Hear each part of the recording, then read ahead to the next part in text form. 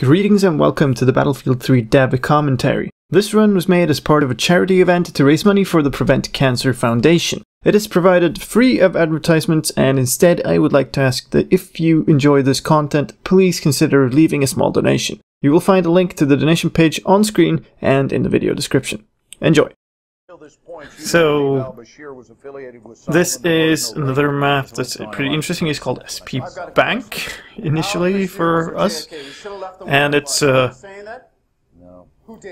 Operation Guillotine now, and it's one of those names that just come up afterwards. The nature of a little interaction here. This is not a trial. You are guilty. I know how your fucking story is. The Marines have Velcro on their uniform. Ah, uh, yeah. far as our treatment of him goes, our directive. And it's again one of those like, you make something up and you think like this will be awesome to make, and it's like, it turns out that you have to actually ship it on a console and the rea realities of new tech and stuff. But yeah.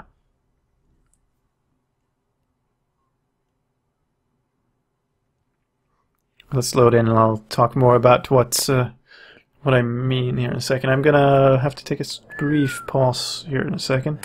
Big city. Let's do that right now, actually, uh, to just get my chat windows back in, into place. There, now it should be okay. Sorry about that.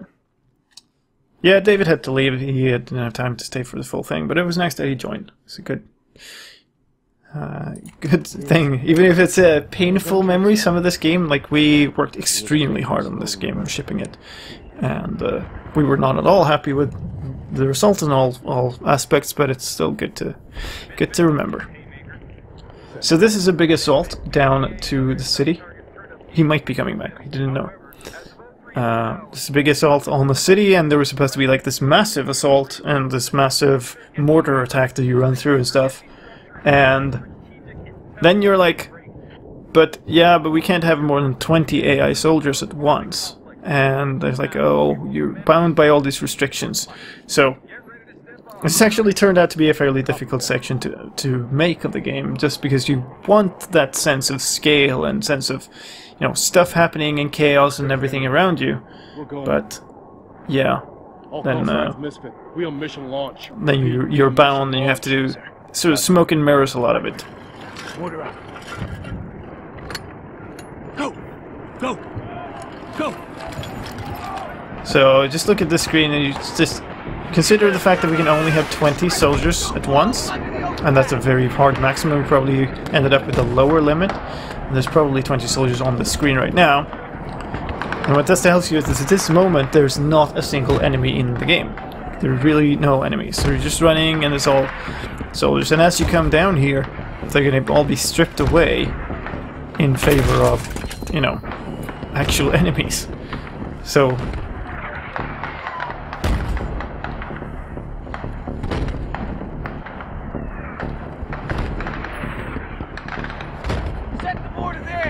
Can't answer that, I'm afraid.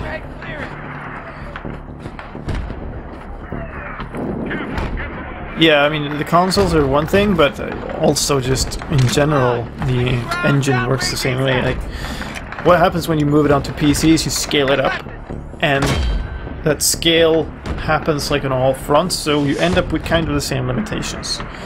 Uh, but of course, like, shipping on PS3 and Xbox 360 had its limitations. And this conveniently placed wall lets us just forget about all the soldiers on the other side of this wall, which no longer exist, and go into an actual combat scenario. So there's a lot of cheating like that, it's pretty funny.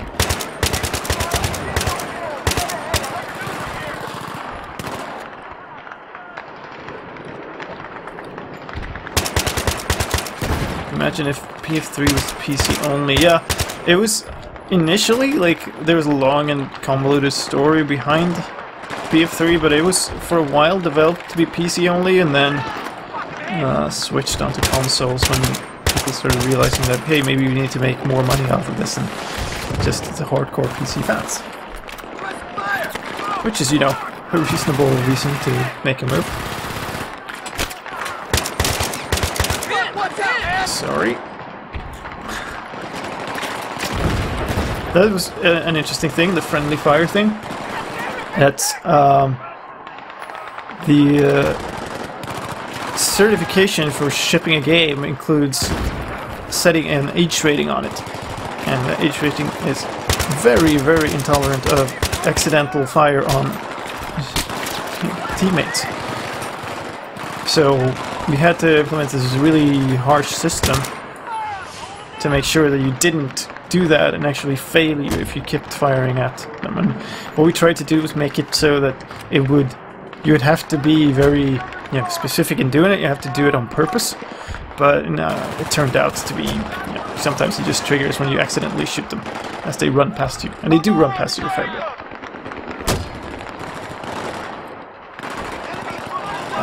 Got stuck in a tree.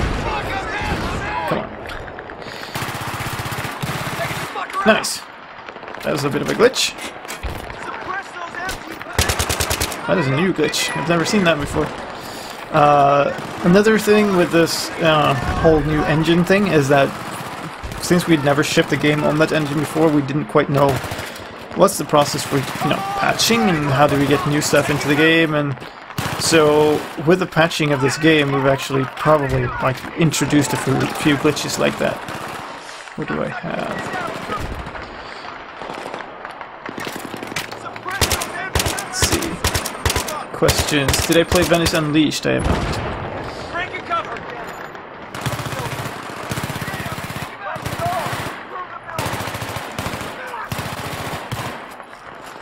And to answer that, that old question from the YouTube chat, yes, I'm looking at the chat, but it was off my screen for a while, so I missed it. Uh, let's see here. Um, one other thing is when you want to make this like massive assault on somewhere, you tend to. Whoa, whoa, whoa!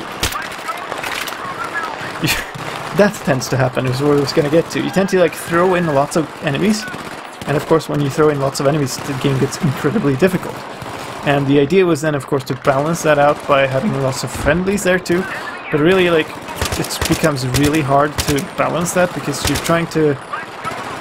Those were friendlies. um, see this. You're trying to, to sort of get this massive firefight, um, but you still have to have enemies that prioritize shooting at the player because otherwise you know, it's not going to be any challenge and not going to be any fun. So yeah.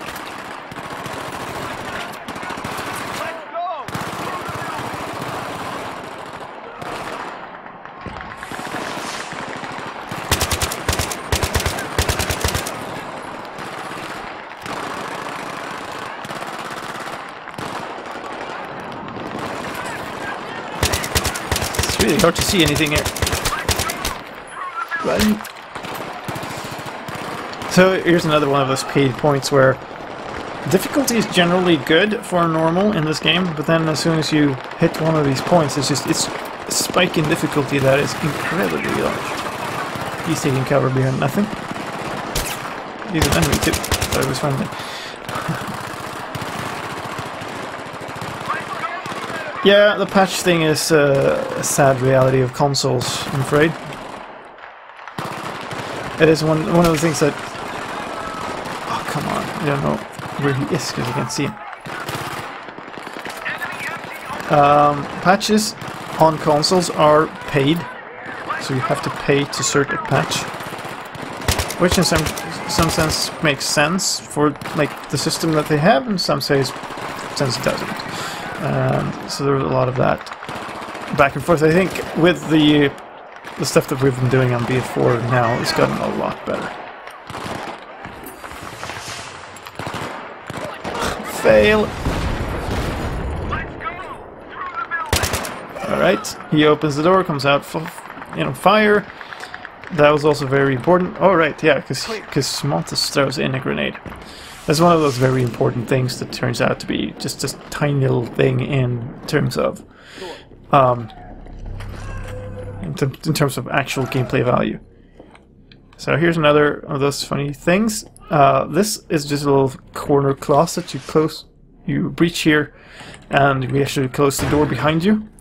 And this is just uh, to be able to sort of box you in and make sure that you keep moving and the you can't go back because then we can just get rid of everything. So there's a lot of the stuff that as soon as you close close the door disappears on. Uh, how's this? There we go.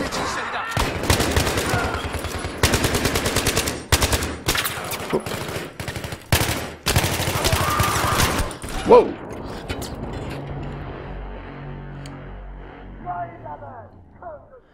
That's like 40k, right? I can't. Uh, I can't mention the, the, the numbers of that, and I don't even have the exact numbers. Just know that it's it's enough money that it, you don't want to release more patches than you have to, and it's kind of prohibitive for patching a small thing like that. That's another like little event that is really kind of pointless. You, it doesn't lead to anything. It doesn't. It just opens a door with a weird animation, and you have to wait for them to catch up before you can actually open this.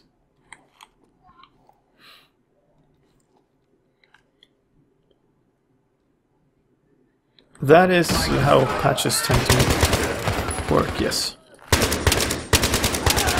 We don't change game data, you change, you add a, a patch package on top that uh, sort of patches stuff in.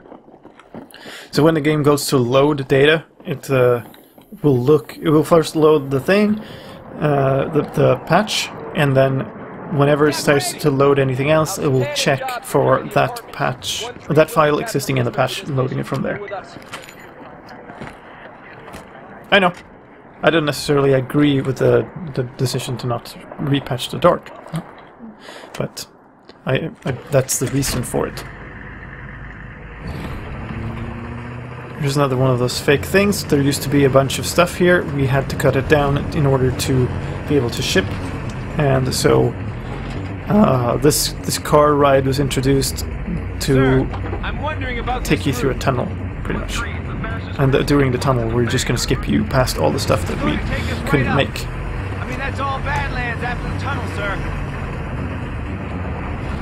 It's all Badlands after the tunnel.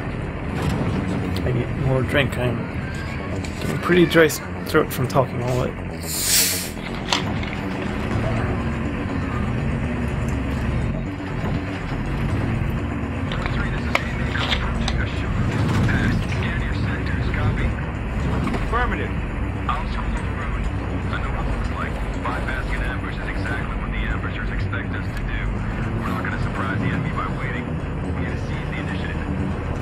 None of that makes any sense. Why don't we just shoot ourselves and save them the trouble? Seriously, we're gonna get jacked. Frankly, gentlemen, I'm not hearing the aggression I'd like. Keep scanning. Nothing yet. So, this is the kind of thing you would try to avoid normally as a game dev. You're just going past lots and lots of expensive geometry. You're like, you're making a lot of stuff, and then you're just traveling past it really quickly. Um, so that's, yeah. Get this over with. Yep. More ILP coming up. Yeah, here's another big set piece event. Or big. Well, it's a set piece event. And this is another one of those you go like, oh wow, that's a big scream outside. Um, Over here. all of these have to be sort of timed so that they can't break if you're not in the right position and stuff. So that's a part of why this game is linear in the way it is. Is that all of these big events that we really wanted to have is like they have to take you into a certain location, and that location is very specific.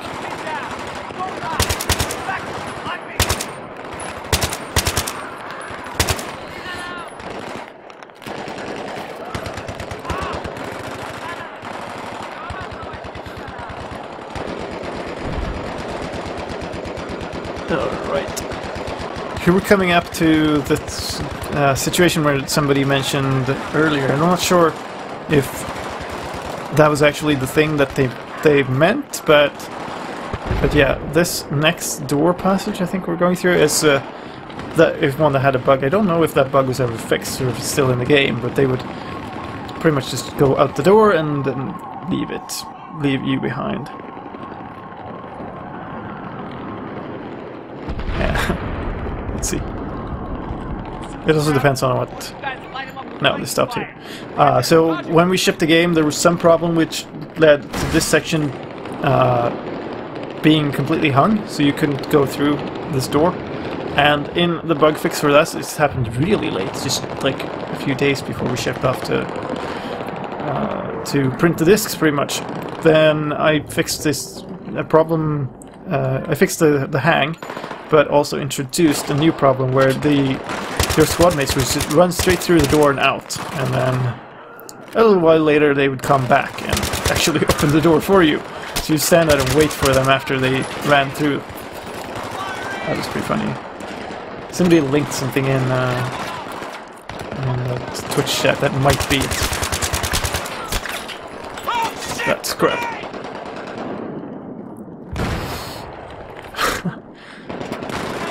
Friendly fire a warning on grenades is about the most annoying thing ever. I'm not really happy about any part of that system. Uh, this calming section was an interesting one. There's a whole... Oh, Stay down. Uh, this whole section was like... You have to run from this tank, and there's supposed to be this thing, and it really was not working. Like, it was not working at all. So it was one of those another section that really really late. Uh, it's been like put off for so long, and we can't do anything about it because we're tied into all these other bugs and problems with the game, and this thing just didn't work. It was it was a terrible section of gameplay, and so the night before we were like, you cannot change any more design on this in this game. Um, after today, pretty much. When we come in tomorrow, you cannot change any more design in this game. Uh, so I'm like, okay, I have to deal with this section. This is not good enough. So I basically took this section, uh, ripped out all the logic from it, and started from scratch. And it's one of those like, how do we ever manage to ship a game like that? But um, so it's pretty much one attempt to get something good out of this, and the part I'm playing right now is uh, that the result of that. So it's like, it's well one shot. You got one attempt to make good gameplay. Normally you like make something over many, many, many attempts and iterations and refinements. We just made this once and it turned out okay.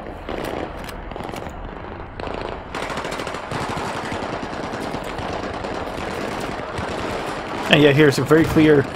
Um, you can very clearly see the stuff that Dave was talking about before, where you're shooting at people really far away in fog all the time, and it doesn't really cater for the best gameplay.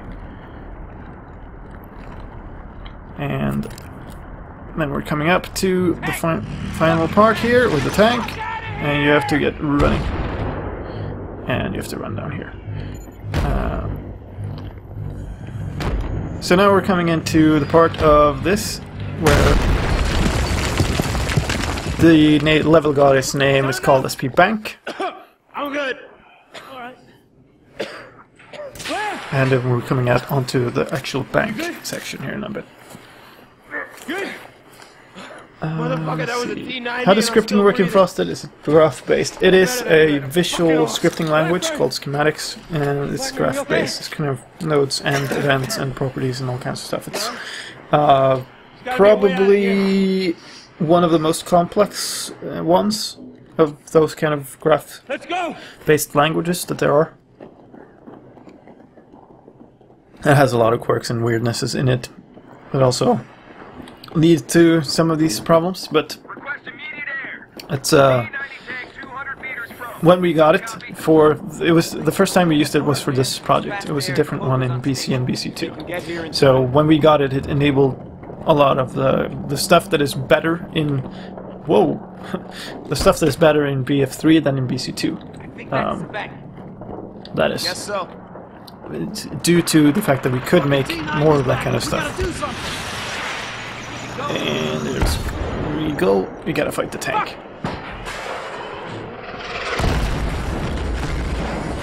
How messy does the graph get? Um, incredibly messy in some cases. Um, the uh, jet mission was terrible. It was an absolute pain made of spaghetti in terms of graphing. Uh, some others were pretty good. The earthquake missions were, were pretty good, with the exception of uh, the actual earthquake event, which was just a terrible, terrible, like one big graph of connections for the entire earthquake, with each separate piece of mesh connected in that. In that ev- event, you see like a lot of small pieces of ground that um, all like shift and heave in that event, and that every single piece like that had a single line connected to an animation. So that thing was just a massive mess of lines. Here it is. We appear to have lost the mesh, but doesn't matter. This is another one of those sections. Like this is not fun. Let's remake it. Um, not quite as late, but it was uh, late enough, and I just took the section out of the hands of the people who made it and remade it. It's not like people weren't uh, weren't capable of doing it. It was just that the complexities of making this project in this new engine is made so- some of the sections I just had to redo. It's a cleaner way to do the earthquake, yeah, but you're bound to the engine that you use. Whoa. Uh, move. Tank on the right, heading this way. Let's see. Here we go. So, Good hit. Building's not secure. keyframes to the like the the thing is you're bound to the engine you have and a lot of the stuff is like surely we can do that that's yes you could do that but you're talking about like one thing in a big game of things you have to prioritize things uh, that actually makes sense is that that's a tank Did that fire? Let, let me pass, sir. Uh, this could be a problem. You see these uh, tanks fire pretty regularly and they will they act on your being in cover or not. And so some of them are really difficult to take out because they can like if you accidentally snag on something you'll get shot. Uh, why is the little bird left in the world? Um, so part of this is uh, the way we streamed uh, data from disk in in this game pretty much was that um, when there was logic connected to something, it had the the world parts around that had to be streamed in. So if you wanted something to work, like you wanted the little bird to keep flying away, then you have to keep that thing in. You have to keep the whole area in memory. So that's what happened, and uh, that's something we changed afterwards uh, for BF4 and stuff. But uh, that's how it worked then, and that meant that there were some oddities like if there was a vehicle around that we used, and you could see it from a bit longer distance, then the whole geometry had to stay, and the opposite also applied. That if you had something where this area can be seen, and you had a bit of logic connected to that, so for instance a little bird, then that little bird would also remain spawned in and around because, well, the area was still visible.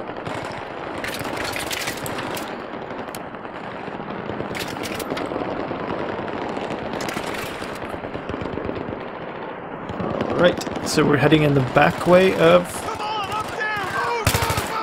of the bank now to another one of those nice little scenes.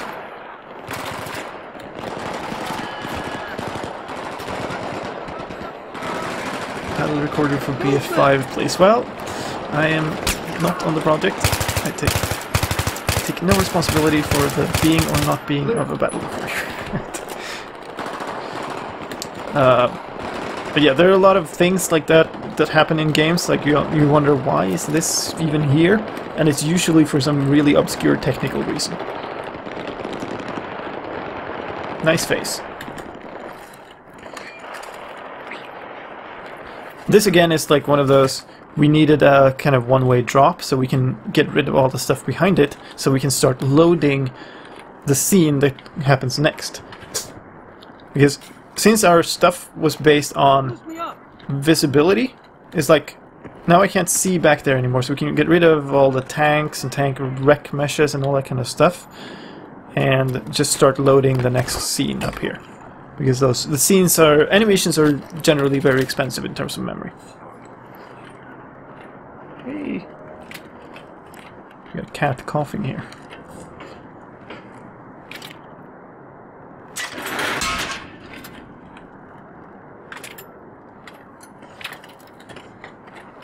Custom ladder climbing, because of course.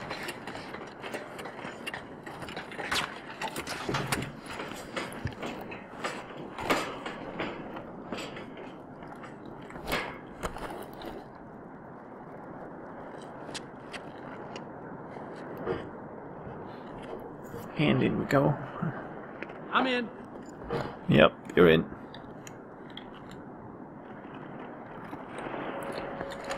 And another custom animation for that. So here's the thing, like the the way that I think if you can um, describe, stall.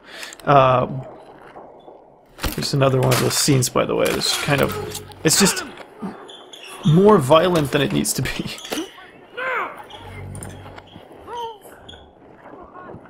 So you're just basically like, and I know I think this is one of the ones that uh, that's one of my co-workers was working on. He was like really disturbed by playing this over and over. Uh, I had the, the the misfortune of playing another one. Is it true that you can heal destruction by applying negative damage? I'm not entirely sure. Uh, the way the system, like, it's changed too. It's changed a lot between. There we go. Uh, custom knifing animation, because why not? Uh, it's changed a bunch before between the projects, but the way it is, uh, you can't sort of undo the fact that there are parts of it that scatter around the world and the smoke effects and stuff that go off, but you can generally, I believe, heal to so objects in Frostbite have what's called damage uh, states, and they will they will sort of be destroyed down to a certain damage state, or parts of objects will be. Whoa, whoa, whoa, whoa. Okay. Hard to focus on a difficult section while talking, but yeah, they they go to a damage state, and uh, in that damage state you just look a certain way. Uh, and going to that damage state also spawns like the wreck parts that fall on the ground and that's all the like um, effects of that happening. But uh, once they're there, they're just a different mesh. So there's nothing that really limits you from moving back to another state afterwards. Uh, I don't know if that's hooked up to negative damage dealing by the like the gameplay systems, but that's how the sort of the object systems work, if you will. This is another one of those a bit more difficult sections. I don't quite remember what the best way of solving this one was. It might have been that this glass it was actually a pretty good cover. There are also a fair few sections that I don't like uh, in this game that are implemented as sort of enemies that will keep coming until you hit a certain line and then they stop and stuff like that. Uh, can I get cover somewhere here? This very, very sturdy looking armchair will do. the oversized ammo boxes are pretty funny, yeah. They, they were they suffer from a very common thing in games where you just have to um, you have they have to be objects you can see so you just go with it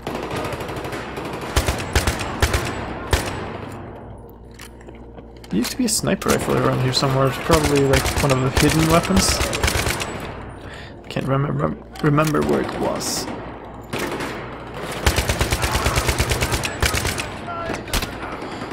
Uh, is the smoke cap from Uppsala? Um, some of it might be. Generally what we do is, uh, those guys do our mocap that is kind of action mocap and the, the kind of, the smaller stuff that isn't this big scene. Is it a different object or just the same rescaled? I don't know what the technical implementation of that is, but it is essentially the same object uh, that has been like rescaled. If that meant that they made another object by importing it into the engine, rescaled, or if it's just like, yeah, it's an, it's the same object, we scaled it in the engine. I don't know. We've had problems with scaling objects before.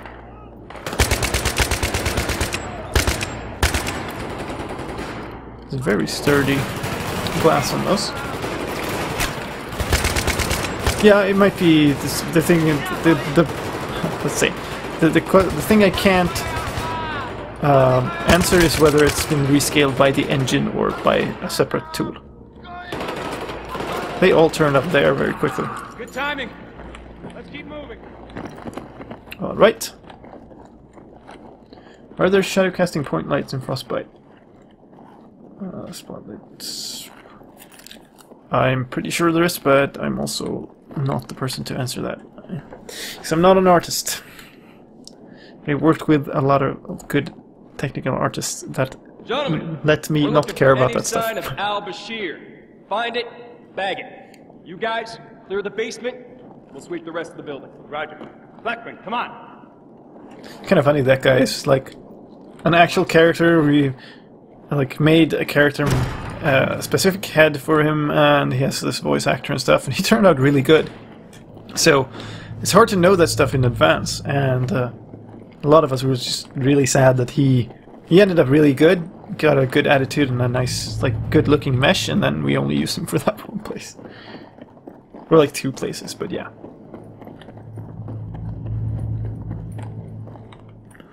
Oh, and this place.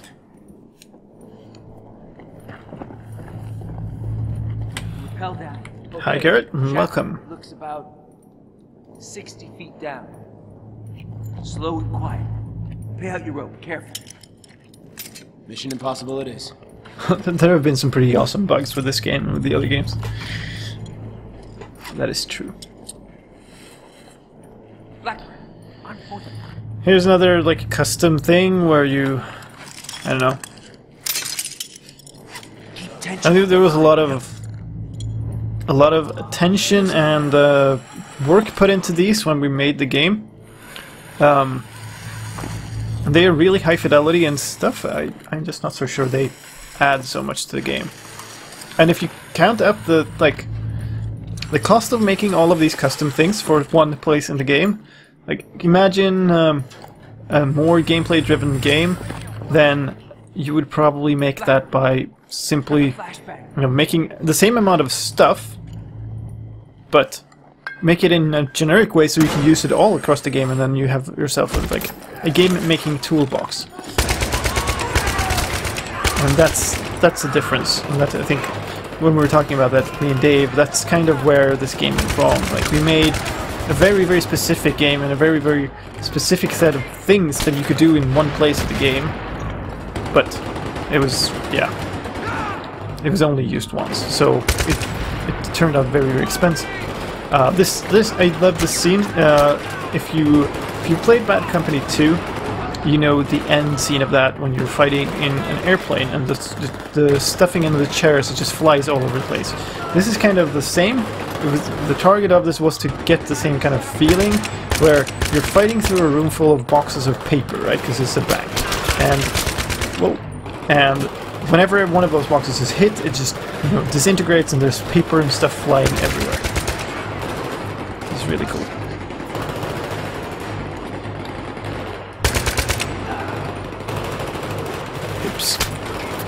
Soon. All right, done. Let's get it on. Should have seen the internal blooper reels we got from Fun Bugs. CJ there, yeah. Um, we have some pretty epic bugs, bug rolls at sometimes, and it is a, it is sad that we don't get them out more often. Uh, but yeah, Maybe Al Bashir's in there? I don't know. Let's find out. Matkovic, open the gate. Open it, which of course is done by explosives. Fire in the hole! Clear! Clear! The fuck is this? Montes, Smell that? Smoke. Cordite. Let's get this door open. Hey, Battleship. God damn it, Timmy. Yeah. I'm going in. So, how big problems are you guys having?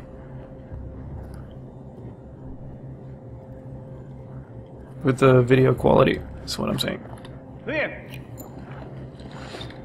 Holy shit. It's a gold mine. It's an operations room. Looks like they tried to destroy it. No, look. Shit's still here. I want It's everything fine now. back Good. Okay. Good. Um, here's pretty much where you get I got a train the kind of uh, 602. the reveal of what the game is actually about at this point. Actually, the uh, you've been tracking down this Al-Bashir guy, and it's like what's what's actually going on, and why is that a problem? And now we're, we're revealing the contents of this box, which is why is this a big problem, and why We don't got are you so caring so much about this? Holy shit. You know what that is? Russian. Portable nukes. There's only one there. Wait, there's room for two more. Where the hell are the other two? Hey, you need to see this! There!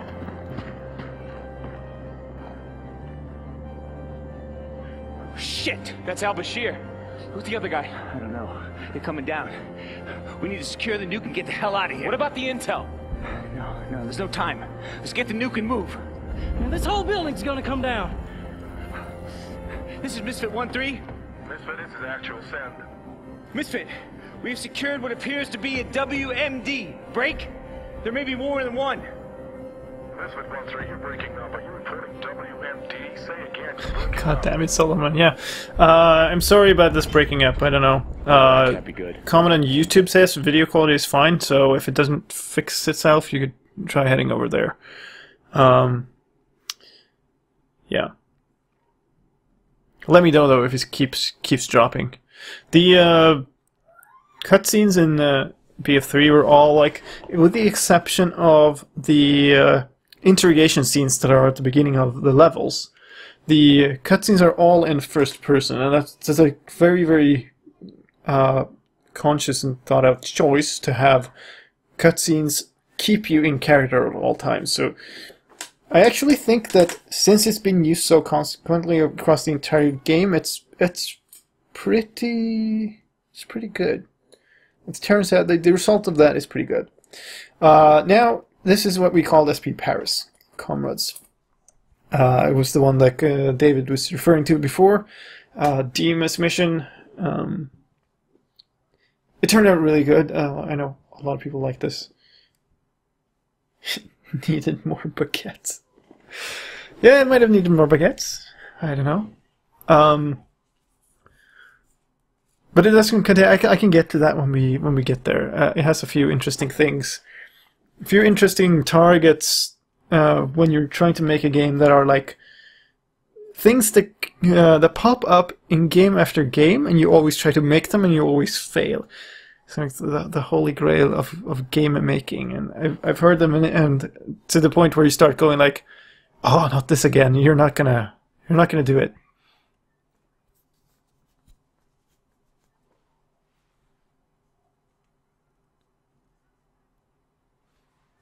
This, however, does pretty much look uh, like the game is stalled.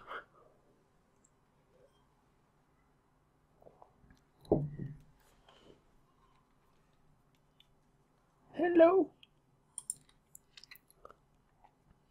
Loading the loading text is usually animated, even if the rest of the the thing is a static loading screen. It's kind of funny. A lot of the loading bleeps and stuff uh, that we have in when you're not on a loading screen, but when it's just on black, are actually added in uh, as a safeguard. So there will be a little blip blipping about whenever the screen is completely black, just to avoid ever getting stuck in a completely black screen and showing no interaction, and which would actually fail your win certification too if you try to. Uh, it looks like uh, I'm going to have to restart the executable here. Let me see.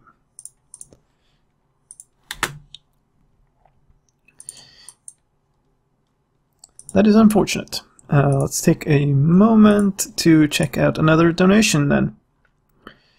Uh, $10, $10 donation from uh, Battle Chef. Thank you very much. And the, with the message, uh, good luck on your stream. Why, thank you. I appear to need it. And we're gonna try to get this rolling again. Sorry about this brief interruption. And where do I have my things?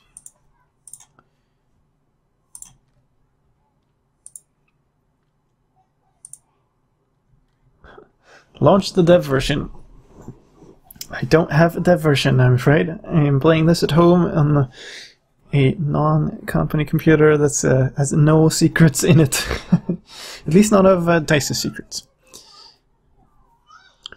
Uh, I don't think it's possible that we don't even have like a dev version that works anymore. Um, nobody's actually like building on BF3. So yeah.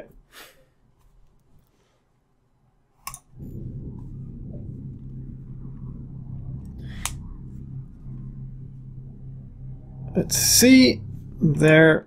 Uh, see if we're back and rolling. That looks okay.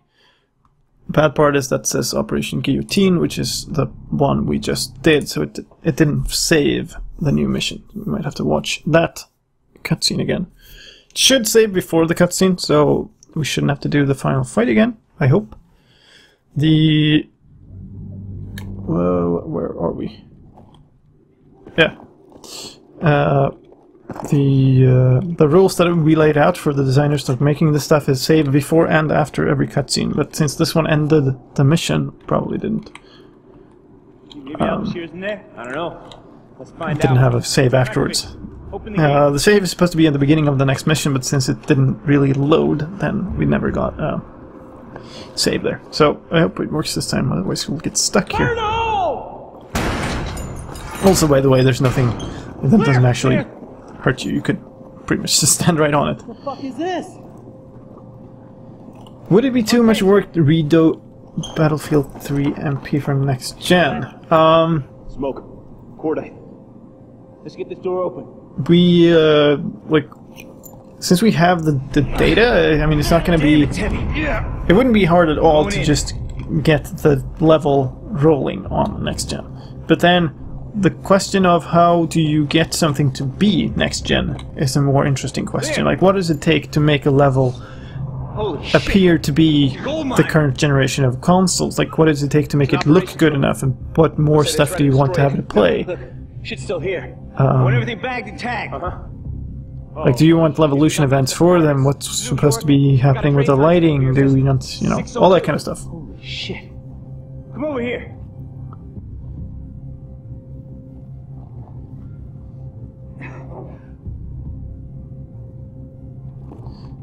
Right, we have to interact. Lift the lid again. And Radioactive. More polygons. Is that a good idea? Yeah, We don't got a and some of the textures and stuff we have in higher resolution because like they're used higher on PC and some are just made higher and then scaled down because they didn't fit in memory or whatever. So those you can always use as a upscaled version, but Wait, there's room for two more. Where the hell are the other two? it tends to be a fairly expensive need to thing to you know, upscale stuff to be There! on new consoles. Shit! That's Al Bashir. Who's the other guy? I don't know. They're coming down. We need to secure the nuke and get the hell out of here. What about the intel? No, no, there's no time. Let's get the nuke and move. Yeah, building's so I'm gonna just reading down. through chat here. Um, This is Misfit 1-3. Misfit, this is actual send. I actually do appreciate Secure Levolution, appears to be a WMD. though I don't appreciate the word Levolution. I There may be more than appreciate the the concept of having like a larger scale event happening in multiplayer where it actually affects the level is, I think, a really good one. Oh, that can't Uh, be good. And I can uh, I can honestly say that because I was I didn't have any part of that. I I was called in to help out implementing it uh, after it was actually started, but I haven't you know I wasn't a part of taking that decision or anything. Let's hope that we can load into comrades now.